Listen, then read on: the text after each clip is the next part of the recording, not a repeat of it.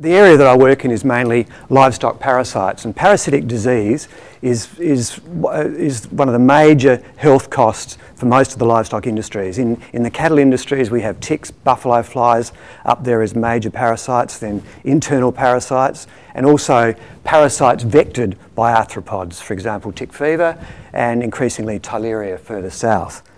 Now, currently, um, most of our, our interventions for paras parasite control are animal centred. And there's good reason for that. There's good practical reasons, there's good economic reasons, and there's certainly efficiency. So most of the controls sort of fall into these groups. We have pesticide application, and pesticides are by far still the mainstream um, method of control. And we have all of these, these myriad uh, methods, oh, there we go, method, methods of application. We have pesticide ear tags, drenches and injections, dips. And this one here, which I had to put up there, it's not actually one of ours. It's a thing which has just been registered for use in the States. And it's basically paintballs with pesticide. So basically you shoot the cattle and, and the pesticide spreads out. And you can just imagine the sort of fun some producers' kids going to have if this ever gets, um, gets uh, uh, registered in Australia. I doubt that it will for various reasons. Um, we also look at resistant genotypes, you know, um, for example, uh, for tick resistance and buffalo fly resistance. Vaccines are a major method of control, more for diseases than the, than the parasites per se, usually. Uh, and cultural controls, there's a whole lot of these sorts of things. Grazing management for internal parasites and for ticks, uh, things like crutching and shearing for fly strike control, but largely animal based. Now, I just want to go back. As I said, parasites are currently pretty much the, the major group of, of health problems in most of the livestock systems. However, um, a lot of those tend to be tropical, and there's now increasing evidence um, that these are starting to increase their range further southward. So for example, just a couple to pick out. Haemonchus. Haemonchus placei is basically a tropical worm parasite, quite pathogenic in northern Australia. That's recently turned up and is cycling, re-establishing in, in, in southwest, western Australia. Theileria was here as a pretty much a fairly benign parasite. It's now turning out to be more pathogenic in some of the range where it was before, and it's also emerged down in Victoria, vectored by, by Haemaphysalis ticks uh, culicoides and, and, and, arbovirus vectors. We have good evidence for them um, potentially moving southward in Australia under climate change, but we've already had one particularly interesting um, occurrence of this in Europe where, where always regularly culicoides used to, used to invade from North Africa, but didn't go very far, far north. And, and more re recently, it's actually gone far enough north that it's actually, and these are carrying blue tongue, which is quite a pathogenic, you know, so nasty disease of sheep and one that we certainly don't, we don't want to get uh, as a disease of sheep in Australia. But, it, but it, th these vectors have gone far, far enough north that they've encountered another vector complex and, and, and uh, has actually got into another vector complex which has made it more, more, uh, more of a problem actually in Europe going forward. Amyosis, fly strike, um, we've got evidence of, of a number of, changes of, of, of, um, of range of that in, in Europe in a number of places and there's concerns about what will happen with sheep blowfly strike in Australia. Um, cattle ticks in, in the US, there's a, there's a um, exclusion zone between Texas and Mexico, increasing breaches further north and, and modelling suggesting that's going to become a really big problem. And the same thing in Australia, we have the tick, tick line at the moment, but as, as it becomes more favourable for ticks south of the, the line, presumably the, the, the, uh, the, the, challenge is going to be, become more, more serious. And buffalo flies are, is certainly going southward, and I'll talk a bit more about that later. Now, as I said, we've always thought about, we think mainly with, with animal uh, controls on, on, an, on an animal basis. Most of our targets are that way. But, but we have a number of area-wide approaches as well. And very often these are a great way of doing things because, you know, in the best scenario, you prevent the parasite from ever being there in the first place, or you, you eradicate it and control it, you know, over a whole area. So for example, we have quarantine barriers with, for example, cattle tick, as I said. So, so no, no, um, no problems with cattle tick south of the tick line. Um, we have large-scale area, area-wide spraying campaigns. This happens particularly with mosquitoes, but also in Africa with tsetse, and for all the reasons you'll understand, people don't like having um, planes fly over the top of them spraying insecticides, although it's happening again currently with Zika virus outbreaks in some areas. Um, we, we, we, look at also an area we look at targeting the off, off host stages, for example, flukes and sometimes mosquitoes in water management stage. Um, um, situations, tsetse, area-wide integrated control, and we look at area-wide IPM. That's, that's becoming a bit of a jargon term in terms of controlling invasive parasites. And, and, usually with area-wide IPM, we have a core technology, which is largely um, currently insecticides in most, in most um, cases. However, that's, these are not the ones that I want to talk about today those ones are still largely targeted at the animals. The biocontrol ones, not, not always, but, um, but here in, in this talk, I want to talk mainly about the potential for directly targeting the parasite populations on an area-wide basis. Now I'm just going to flip through these quickly and I'm going to come back to a couple of advantages. Now the one you'll know mainly is the sterile insect technique, which has been, you know, it's, it's used for eradication of a whole lot of pests. I'll come back to the screwworm fly one in a minute, but it's used in Australia for fruit fly control, for example, on a, on a, on a, um, on a local basis.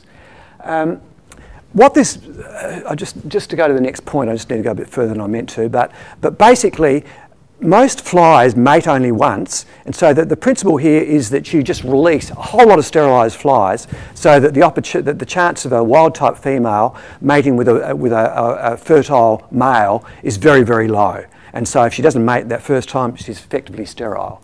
Now the reason I, I just wanted to go a bit further there than I meant to is that the one time that we've thought about using something similar in Australia with a livestock pest is against sheep blowfly.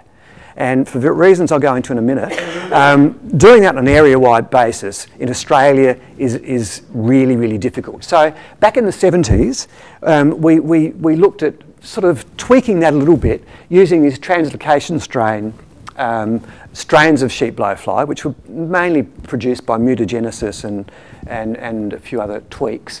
And, and so I'll just talk, so a couple of the ones that we used were sex-limited translocations, where, where the, um, the, the trait was carried into the female, uh, it was active in the female population, but carried by the males, not expressed there. So the males basically spread genetic death. Or the, the translocation strains, basically these work by, by re, re-gluing the, the, the, different arms of the, the, the, um, uh, the chromosomes so that when the translocation strain mates with the wild type, they're basically sterile, but they, in themselves, if they mate with, uh, amongst themselves, they're 25% sterile. So if you get your numbers right, and you still need big numbers, you can effectively replace a population in principle. Okay, so I'm not going to say any more about that one. But what's more interesting is where we're going in the future. Now, there's, there's a number of technologies out there, and I'm going to talk about these in a bit more detail in a minute. RIDL, which is um, a, a, release of insects carrying a dominant lethal. And this is, a, this is a, a technique out of Oxford University, currently being tested in Malaysia uh, by the, the spin-off company called Oxitec, Malaysia and, and in, um, uh, in Brazil as a mosquito uh, control. Um, uh, HEGs, homing endonuclease genes. I'm not going to go through these because it will take me a while, but you might want to read about that one. That one's pretty interesting. Uh, there's a whole lot of disease refractive vectors. Now, it, lots of people have actually engineered, for example, mosquitoes that, that are not competent uh, hosts for, for malaria or for, for other parasites.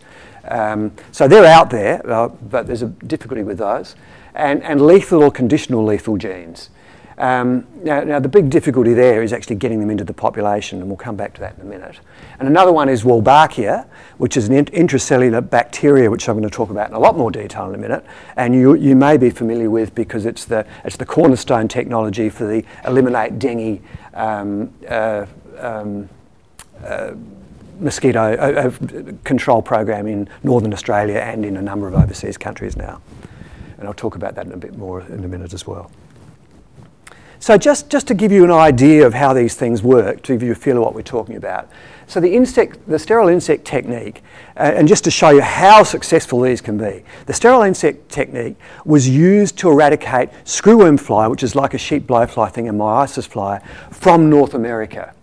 Um, if, you, if you look at this map here, this shows where um, screwworm used to be endemic and, and where it has been eradicated from. So, so completely out of the States, through Mexico, right down through Central America, and now bordering Colombia. So that pest is totally gone using sterile male. So, so basically a whole lot of sterile insects reared, usually by irradiation, bred up and dumped out of planes um, to mate with wild type flies. Done again and again to, to, to, until the chance, until, the, until it gets to the stage where the chance of a fertile female mating with a fertile male is, is, is nil. And by doing that, we basically eradicated, or not basically, have eradicated screwworm. And you can see that the cost benefit of this sort of approach, how good it can be. So, so the direct producer uh, um, benefit per annum in the States is estimated 896 million. In, um, in Mexico, 328 million, and in Central America, 87 million. And the return per year is less, um, is, is greater than the total cost of this project over, over the 50 years since it was started. So hugely, huge economic benefits. Um, it's also been used elsewhere, for example in Libya, to eradicate a screwworm incursion there. Or, uh, screwworm not wasn't previously present in Libya. It was used to outbreak, a, uh, used to eradicate there. It's currently being tested in Uruguay. Um, it's part, this technique is part of the Australian Old World Screwworm um, uh, preparedness program, although we haven't got a colony anymore, and, and if we, you know, it would take us ages to, to, to, to, to uh, get into that. It's been used to eradicate tsetse, tsetse fly in Zanzibar. It's been used for fruit flies and for some mosquitoes. So it's been a very, very, very, um, very, very successful technique. I just wanted to talk about, uh, just quickly, just look at a couple of the other techniques. Now, as I said, the RIDL technique is currently, uh, this is one that is actually currently being released in the field now. You can see that the males carry and deliver transgenes to the, to the, which are expressed in the females. And in the, in the particular instance I'm showing up here, the females have a, a, a um, uh, it, it, confers a, a, um, a, fault in the flight muscle so the flies can't fly and therefore they've functionally lost their field effectiveness. There's a couple of other, other traits that are being looked at as well. Um, so, so, the, yeah, and so the males aren't affected. They, they stay there and they continue to spread the, the um, uh, translocate, or the um, um, fault. Uh, and yeah, so, so, so just they last a little bit longer than you would with a sterile male approach.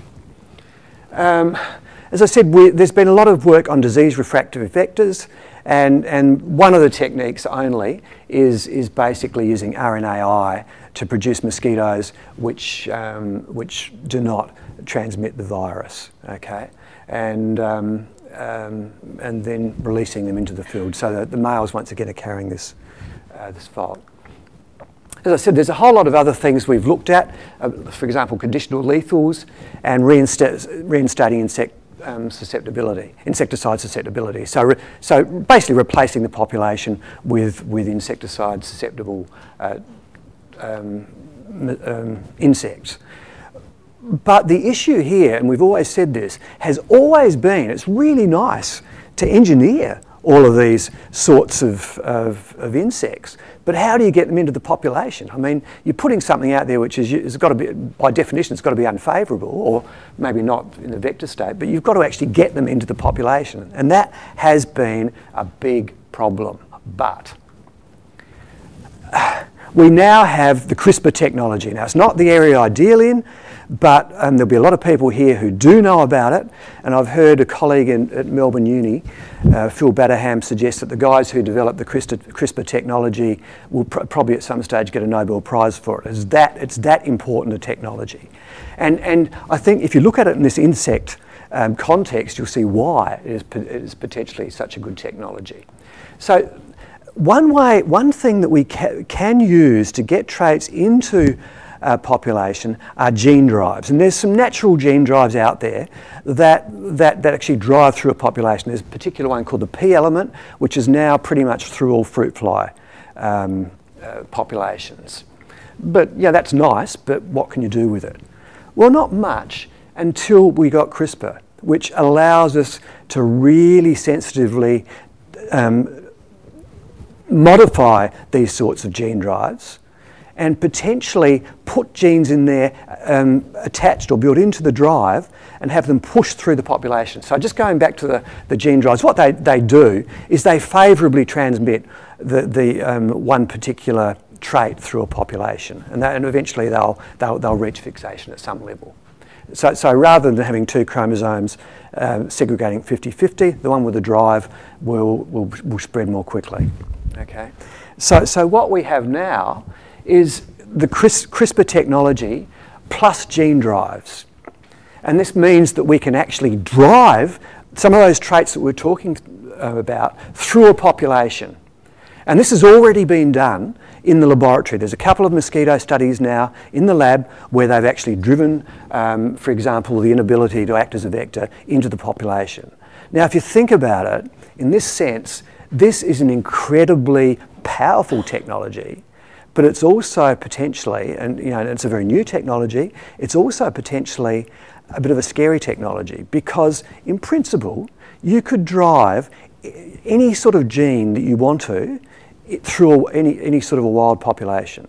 And, and what it will do in an ecological sense, we have yet to know. So, so people are, even though this is really, really powerful, people are progressing very, very carefully. They're, they're particularly worried, uh, not worried, but aware of the sociological issues and the ecological issues of this. And this, this is, there's going to be a lot of work done in that space before any of these get released. But it is, and you can just think of the, the possibilities of what we can now do. You know, eradicate malaria, possibly, you know, long term, using this technology if we get them out there. Okay, now, uh, now I'm going to move on to Wolbachia. And the reason for part of that was, was to, what I've talked about so far is twofold. One, to talk about the power of area-wide controls, and two, just to give a bit of a, uh, a idea of how important it is to be able to drive these things into a population. Well, another way of possibly doing it is using an intracellular bacteria called Wolbachia, which I'm, you know, if you're interested in insects or dengue at all, you'll certainly have heard of. So, so Wolbachia is a maternally transmitted intracellular bacteria. Okay, so it only goes mother to daughter or mother to, to egg, mother to offspring. It's related to um, Rickettsia, Anaplasma and Ehrlichia, which are all arthropod transmitted pathogens. And it's thought of as a reproductive parasite. Now, as a reproductive parasite, it basically has um, um, the first thing that nearly all of these strains do is they have an effect of cytoplasmic incompatibility. Now, what that means is, and, and the, the whole reproductive parasite comment, is that, that it, it, it, has a way of driving itself into a population. Okay, so, so, so what it means is that if a male with Wolbachia mates with a female without Wolbachia, um, the results of that mating will be sterile. The eggs won't work. And, and can, whereas if either a wild type female or a Wolbachia infected female mates with a Wolbachia infected female, the, the results of that mating will be fertile. Now, if you, if you go back and do all the population dynamics and you get all the ratios right, what that means is, is eventually um, the, the, the Wolbachia will drive itself through a population. And there's numbers of examples of that happening, either intentionally or not intentionally. I'll come to that, back to those later. The other things that it does, still in this space, um, in, what, what, what Wolbachia does depends very much on, on the context that it's in. But some of the other things that it does is it, it will stimulate parthenogenesis, and usually you get female offspring. If you think of it, once again, favouring, you know, classic parasite, favouring the Wolbachia because all of the females will have the Wolbachia and they'll spread it through the population. Feminisation of genetic males, so if the males have the Wolbachia, um, uh, they become females and then they can spread the Wolbachia through the thing. And male killing of deaths during embryonic development. So that gives an advantage to the females, once again, spreading it through the population. But the one that I'm going to think of, talk about mainly so far is the cytoplasmic incompatibility. Okay, there's a number of other things that Wolbachia does which can also be important. It has various fitness effects. Now, it has effects on lifespan, and this is a particular one, um, popcorn, popcorn Wolbachia, which reduces the, the, the, the, lifespan of, of the insect. And in, in the dengue context, this was the one that they were going to go with initially, because dengue is only transmitted by old mosquitoes. It takes a while for, for the virus to, to develop in the mosquito and become, get to a stage where it is then going to be transmitted. So the idea here was that by spreading Wolbachia through a population, you would reduce the lifespan of, of, of the females so they couldn't transmit Wolbachia. Now that's not the one they've gone with, I'll come to that in a minute. It's just a bit more difficult to get through a population because it's also spreading a, a fitness uh, deficit. But it's one that I might want to talk about in a minute. So that's, that's one.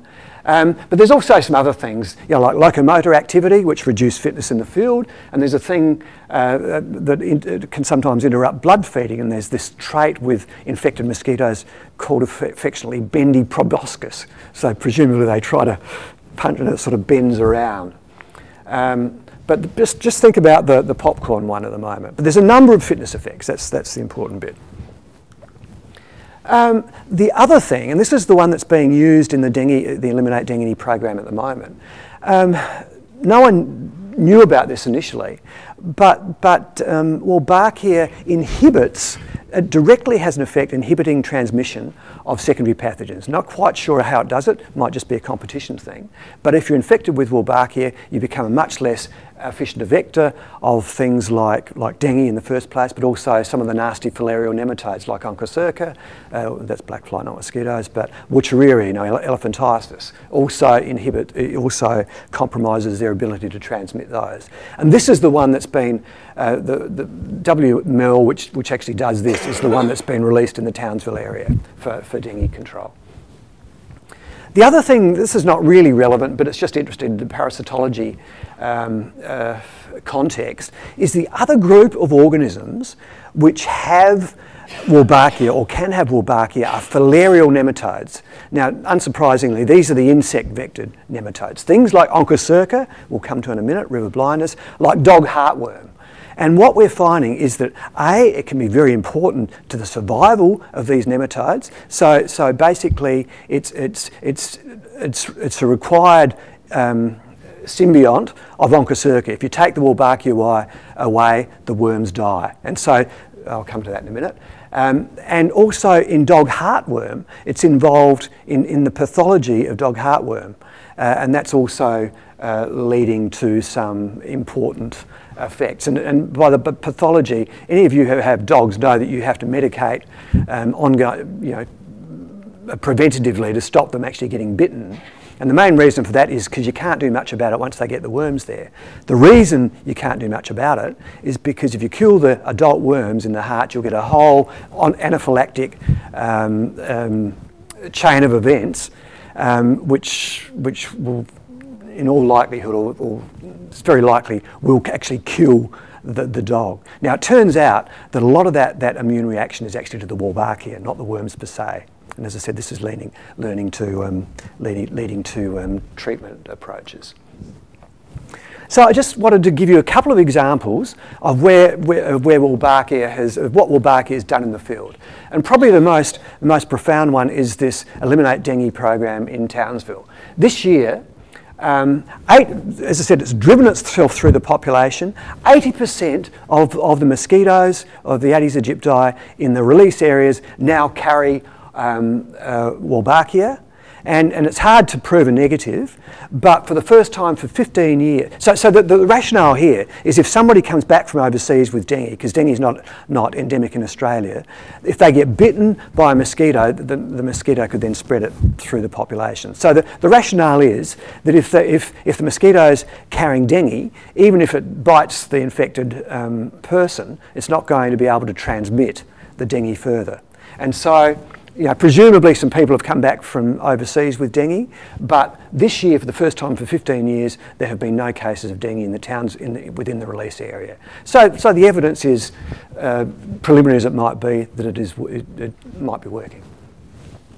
Um, one of the early, early uses of, of Wolbachia, and people didn't, I don't think, knew it was Wolbachia exactly at this stage, they just knew it as cytoplasmic incompatibility, was, was back in 67 when, um, when Laven used um, cytoplasmic, or, uh, incompatible strains to eradicate um, Culex, which carries filariasis, in that case Wuchereria, um, from, from localised areas. So once again, showing, showing the, the potential for it to work. French Polynesia, another mosquito. There's, there's um, some, some promising results out of there. Show, once again, a, a, a filariasis um, uh, uh, vector. Um, and just, just to give you an idea of how well this, this Wolbachia can spread, in Drosophila now it's pretty much right through California. And at one stage, Dros um, Wolbachia was spreading in the population at 100 kilometres uh, per year. So, so it can also happen really quite quickly. As I, I, mentioned about onchocerca and river blindness, you know, basically what happens here is you get, you get a, um, uh, infected with a nematode, and, and if, if, if, if, some stages of the nematodes actually get into the eyeballs, you can get, a, once again, an immune reaction which can cause blindness. And if anyone's taken a parasitology course, you'll probably be aware of um, this, you've probably seen this slide before. And, and in certain areas of Africa, um, by 30, pretty much everyone was blind. And this shows young kids who aren't yet blind taking the adults to, to, to or somewhere, probably to water or to, or to food. Now, using ivermectin and, and increasingly well, um, and, uh, doxycycline working actively against the um, Wolbachia symbiont, um, there, there's really good treatment outcomes, and, and you don't need to, with, with, ivermectin, you have to treat every six months. With using doxycycline to wipe out the, um, the uh, uh, Wolbachia, you can um, increase the, the period of time you treat uh, much longer. And, and for the dog heartworm, same sort of use, using doxycycline or sometimes tetracycline. The, the, the, strategy here is to wipe out the Wolbachia in the adult worms before you kill the worms. And that there's, this is experimental at this stage, but it is showing some, some uh, benefit where you just don't get those um, anaphylactic effects. Okay, so, so now I'm going to, now I'm going to, I'm going to flip very quickly um, through an area. We're actually going to go to buffalo flies. So now for those of you who don't know buffalo flies, they're obligate parasites of, of, of cattle. They sit on the, on the backs of cattle and basically bite them. Um, they only leave to, to lay their eggs in manure. Um, they have nasty mouth parts, they're pool feeders, so they basically slash and suck. They, they actually cut and then lap the, the blood out of the, um, out of the, the leaking capillaries. Now, this is, is, is, quite different to mosquitoes. We have nice fine um, stylets, uh, and so they're really irritating. If you've ever been bitten by one, they hurt. And so if you've got a thousand, thousand of these sitting on your, on your back, biting 20 to 40 times, um, it's really irritating for the cattle. Um, uh, they also have, um, oh, sorry, got these out the wrong way. The other thing they do is they vector a filarial nematode, and that combined with the effects of the feeding of, of the nematodes, uh, effects of the feeding of the flies, cause this basically allergic reaction down here. Uh, which and, and, the flies preferentially feed from there, which is incredibly um, painful for the cattle, and, and it also could um, serve as a screwworm focus were we were ever to get screwworm introduced. Um, so hornfly, uh, buffalo flies, I'm going to flip, I'm running a bit short. Uh, um, uh, buffalo flies are very closely related to hornflies, uh, which is a major pest in North America. Uh, in fact, they, for many years they were considered to be sub, subspecies and some people would argue that they still are. They're similar in, habit, uh, in habitat and they're both invasive. And um, you can see that um, just looking at the history of, um, of hornflies. They were introduced to the States in 1885. They basically got to, um, to northern Brazil in 1956, spread right down through, through Central America. Um, south of the Amazon in 1980, and between 1980 and 1993, they've spread right through South America pretty much. Now, I said they're very close. There is a couple of, of big differences, and th these are important. Firstly, buffalo fly, uh, hornfly has an overwintering capacity. They overwinter as pupae uh, through the winter, and then when the, the temperature's warm, they, they, they emerge and start the new population. Buffalo fly currently doesn't have that um, um, ability. They overwinter as low populations of adults in small foci. We'll come to that in a minute. Buffalo fly lesions are much more severe. You don't see those lesions in horn flies in the States, the ones that I showed you. Um, horn fly causes teat lesions in dairy cattle, but not buffalo fly, it seems, in Australia. But importantly, and I'll come to this in a minute, well, um, horn fly are, po- uh, are positive for Wolbachia. Wolbachia, Wolbachia is endemic in buffalo fly, and I'll put up some stuff we've done here, but not as it turns out, uh, is endemic in horn fly, but not as it turns out in buffalo fly. Um, I just wanted to put this, this map up because it shows the area invaded by horn flies and the area invaded with buffalo flies. And I just talked about that. The yellow is buffalo flies. The interesting bit is this bit here. Now, why hasn't you know, hornfly showed its ability to go through the tropics very, very well. Why hasn't a hornfly also spread through Southeast Asia? Now, it could just be a species thing if they are. We, we don't know if they're reproductively isolated, and for reasons I'm not going to go into, it's very hard to show that. Um, so it could just be an interspecific sterility, or could it perhaps be Wolbachia?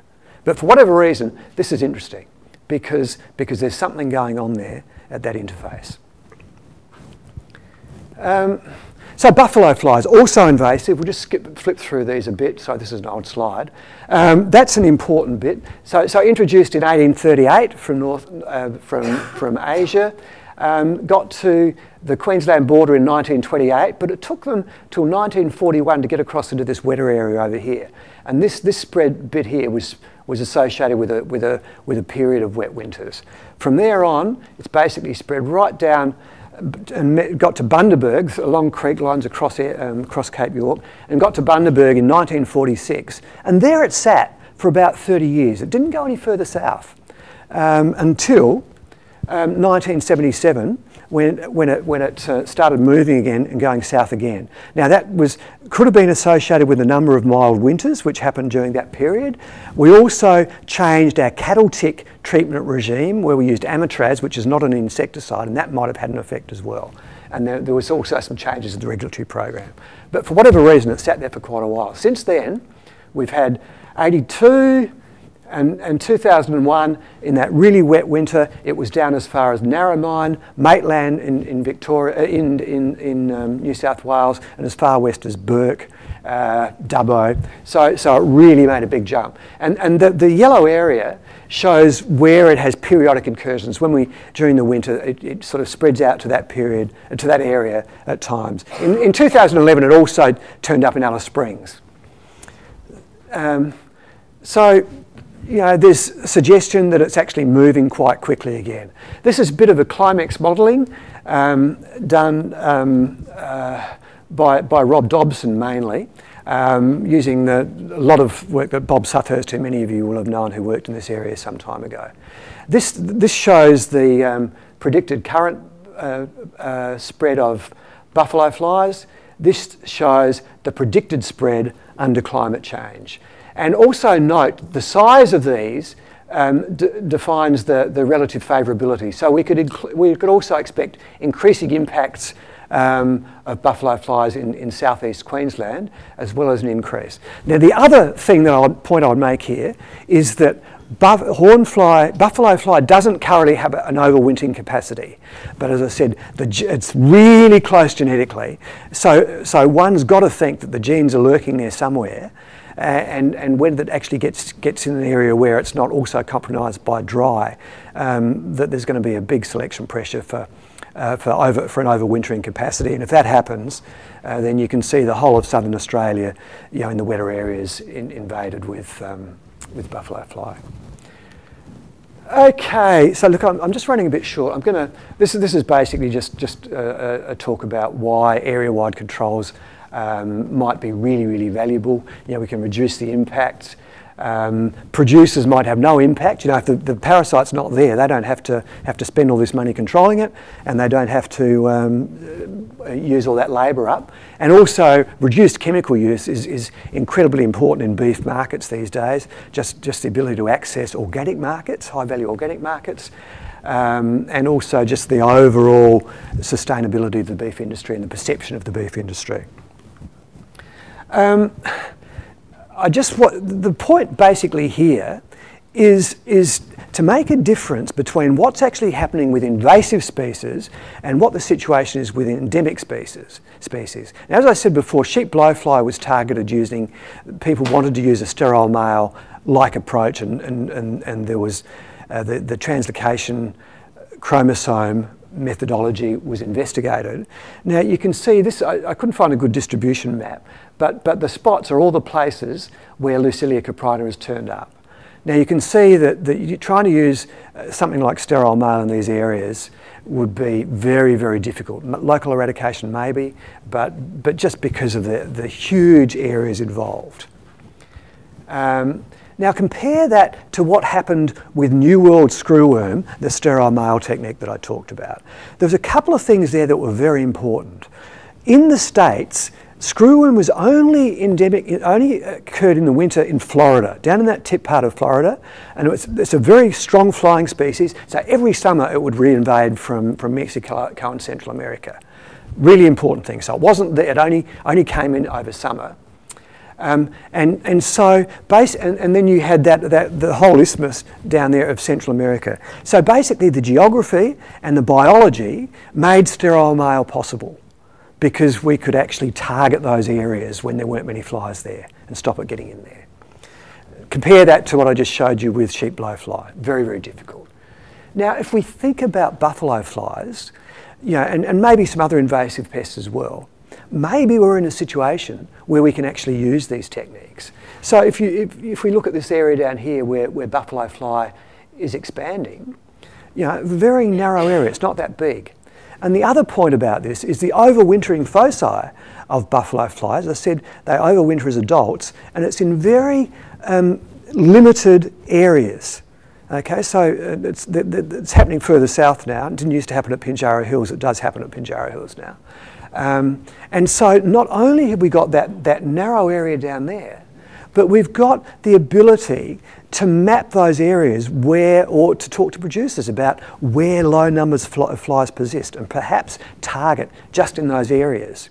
And even, that doesn't only actually occur down here either, but up here, we've got a similar sort of thing happening where, where you've got um, buffalo flies um, persisting through winter in quite limited foci, sometimes because of cold, sometimes because of dry. So once again, area-wide approaches potentially a possibility. And then when we add to this function of Wolbachia that we talked about, it has the ability to drive itself through a population, things are starting to look like we might actually be able to do something in this space. Um, so how could we use Wolbachia? This is, this is basically just, just what we might be able to do if we can produce the, the insects. Well, we could use cytoplasmic incompatibility in terms of, a, of basically a sterile male approach to eradicate in foci. And that's what was done in, that, in Myanmar way back in those years ago we could perhaps stick some fitness effects in there. So you know, even something that reduces lifespan, you know, if you do insect modelling and you look at what you know, reducing a parameter like that does, sometimes you can collapse populations just by reducing their, their fitness level. You know, and particularly when they're, they're already struggling because of you know, some other sort of stress. Um, we could also use pathogen blocking. As I said, those, those lesions are a source of much concern.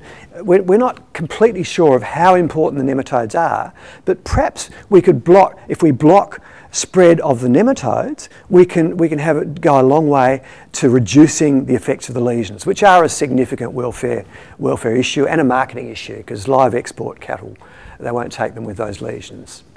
As I said, we could use at the edge of the range to, you know, is basically um, a, to eradicate the advancing foci of, of, um, uh, of buffalo fly. You know, if buffalo fly gets to gets down in the dairy areas and all the southern beef areas, um, that's going to be a huge cost. I didn't I didn't underline the cost in in South America and the states now, but it's it's something like like 900 million dollars per annum in the states where it's through the whole whole area, and something like two point I think it's 2.4 billion dollars estimated in Brazil. So so there's there's potentially some big numbers here.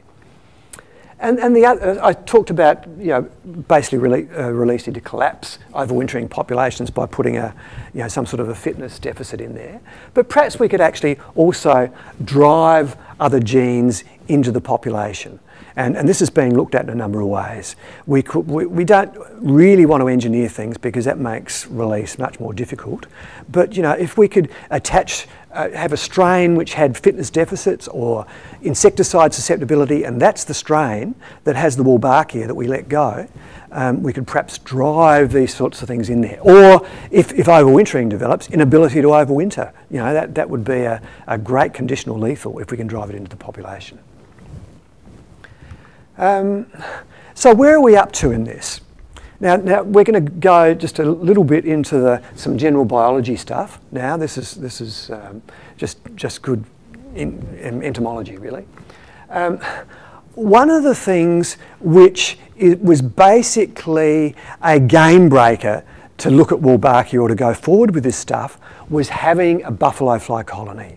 Now, we've never had a buffalo fly colony, and by colony, I mean a laboratory colony in Queensland before. There was one for a while in New South Wales, but we, we tried using that technique and we couldn't get that to work. Um, I'm not sure that, that one wasn't, did, wasn't kept for a long time. Now, the reason we need this is just, just think about the, the logistics of doing these studies, of, of basically transfecting buffalo flies with, with Wolbachia and then having to do all the intercrossing studies. If we had to do it on little cages on the backs of cattle, I mean, you know, it's, it's a disaster waiting for happen. You're just not ever going to be able to do that. You're not ever going to be able to maintain the strains.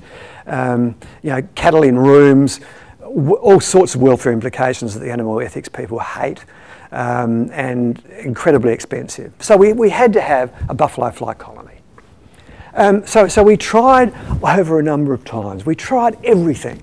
And this, this actually took us two years. We, we, we tried, we, we had something, I mean, it wasn't continual because we, we only could only bring them in when we had populations in the field. So it was during the summer. But we made something like 40 introductions. And we could get, sometimes get them to generation three, but never any further than that.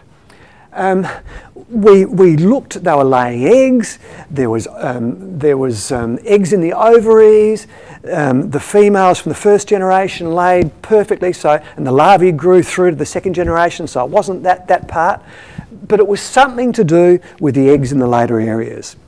Um, so, we, we, so we looked at the males to see whether there was some sort of mating stuff happening. And I was, this is where I, was, I said, Bronwyn, that I had a slide specially for you because we had to visualise buffalo fly, they're not very big flies, had to visualise buffalo fly spermatozoa. We had a bit of trouble trying to actually find them so that we could actually look at them in the testes of the flies and, and look at them in the spermatheca. Now, I mentioned to you before that flies only mate once, and that's because when they mate, this is the, the spermatheca in the females, they store the, the, the sperm in these spermathecae and they're used for, for um, fertilising subsequent um, um, batches of eggs. And the, the, video I had for Bronwyn, because we never ever did show it, was the, um, there's actually, you can actually, there's, there's fine lines in the spermathecal ducts there, but that's the, that's the sperm in there. So, so basically, obviously, the problem was they weren't mating. Um, now, I'm going to flop around a bit here. Now, one of the reasons we thought they weren't mating was that they're incredibly attracted to light. And when we have them in the cages in the labs, they just hang off the roof of the cage all the time. Uh, we couldn't get them to respond to any sorts of cues. They wouldn't go down to manure, they wouldn't go down to cattle odours, they wouldn't, wouldn't do anything. And some of the, the more athletic amongst the audience might disagree with this, but we thought they were probably going to have some real difficulty in mating hanging upside down from the, from the, from the roof of the cages. So I had a summer student and we looked at using different light sources to see whether we could, we could, we could illuminate the cages without attracting the flies. And, and um, Paul, uh, the, the, the, the, woman was Paula Gonzalez uh, Revis, and we looked at all sorts of, of wavelengths, and pretty much all the time the flies were still up there.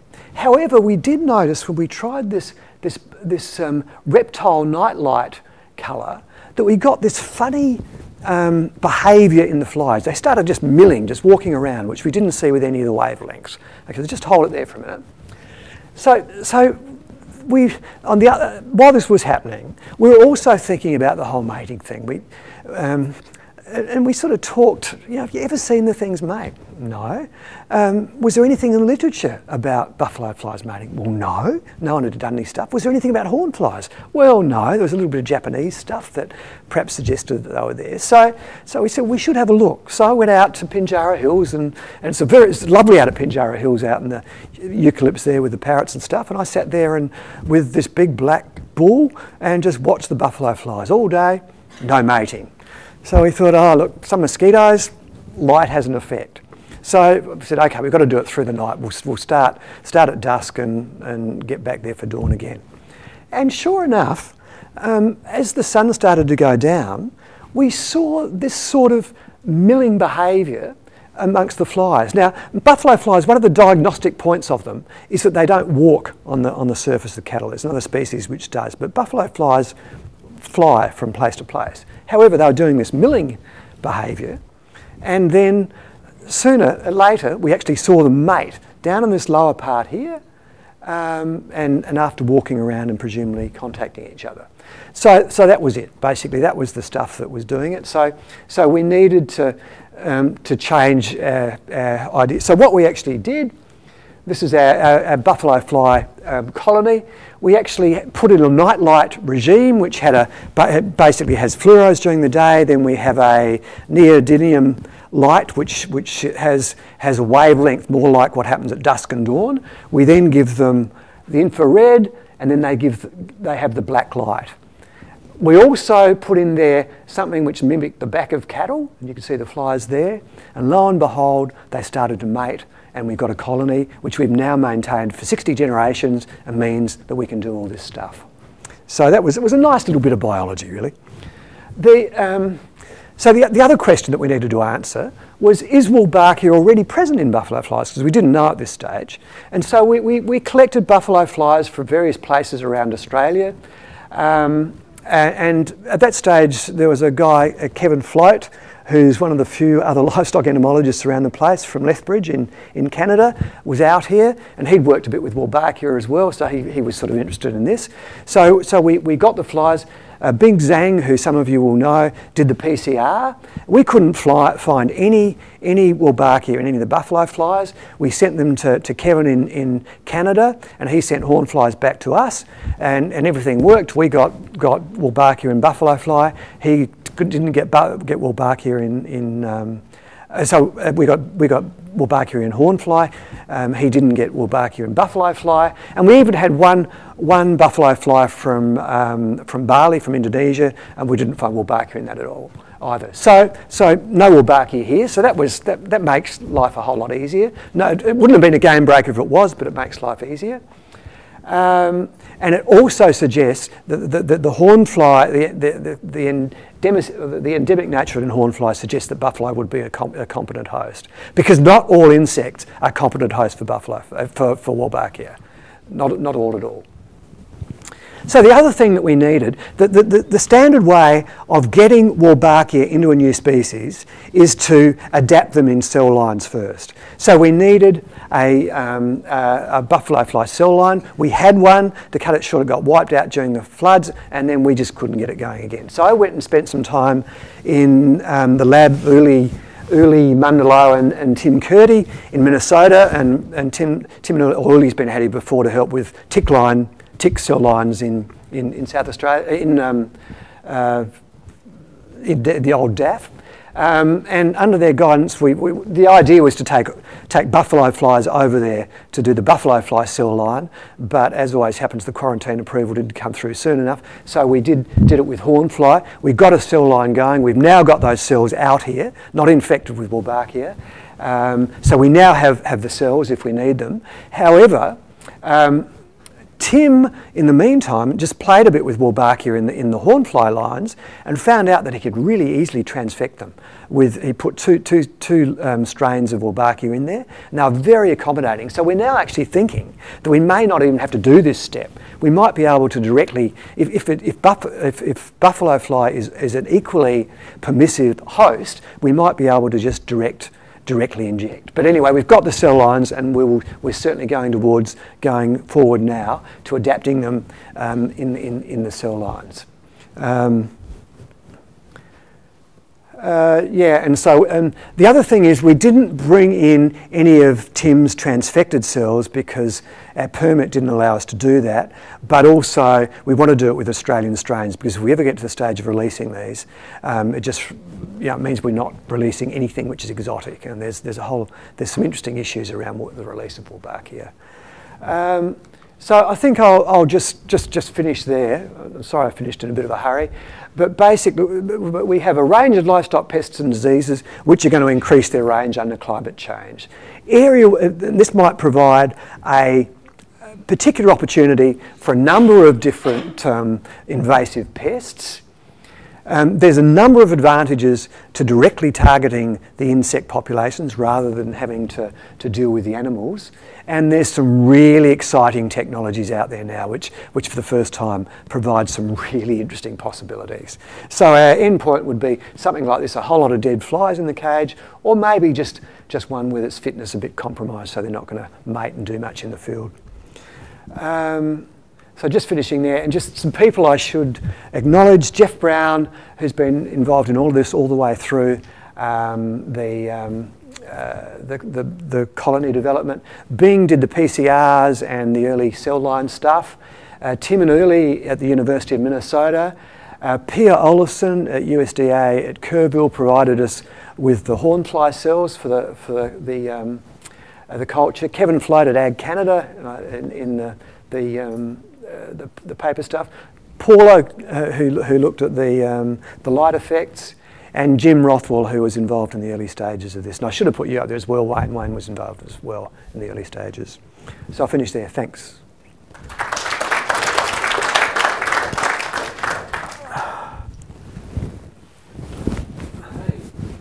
Uh, we have a short time for questions.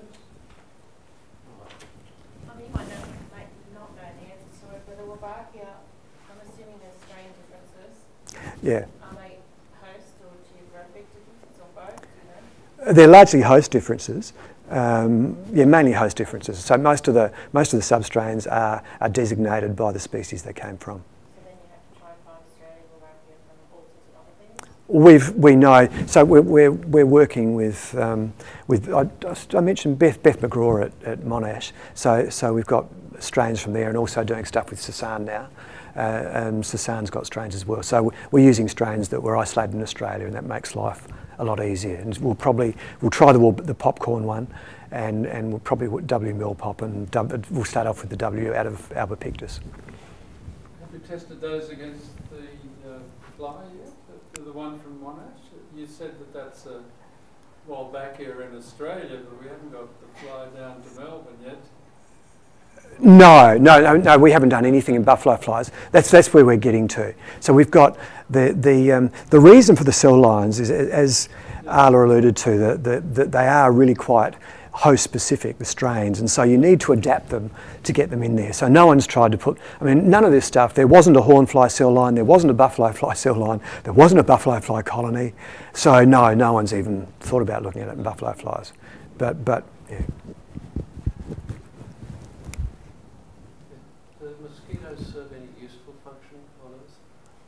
Mosquitoes? If we were devoid of mosquitoes. This has been talked about a lot. I mean, one of the things where they are important is, is in, in food chains. And so, for example, bird food chains and the larvae in water. Um, so, yeah, this, this has been a, a, big talk about the whole, you know, because mosquitoes is where lot, most of this work's been done for Wolbachia, for filariasis, for dengue, oh, sorry, I mean for dengue, for filariasis, for malaria. And so that's been discussed a lot. And yeah, in food chains they, they could be important. Buffalo fly is different though. That's, see, we, we take, tick all the right boxes here, Steve, because it's invasive. Uh, so it's not part of the, the original ecosystem in Australia anyway. And, you know, And a buffalo fly won't go to Melbourne. apparently. well, we think it might eventually, yeah. Any other questions?